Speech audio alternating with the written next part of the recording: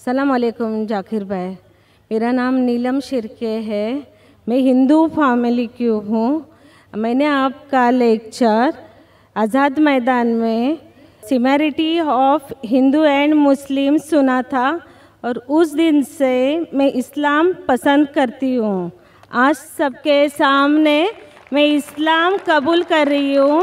La ilaha illallah, Muhammadur Rasulullah. Amen.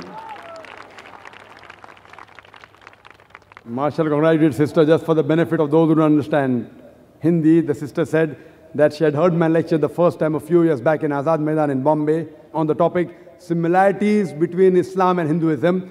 And since that day, she has been appreciating Islam. And today, she has accepted Islam as a lifestyle and we welcome you to the religion of peace. So we pray to Allah subhanahu wa ta'ala that may Allah accept and inshallah you get Jannah, get the best of this world and the Akhirah. Thank you, sister.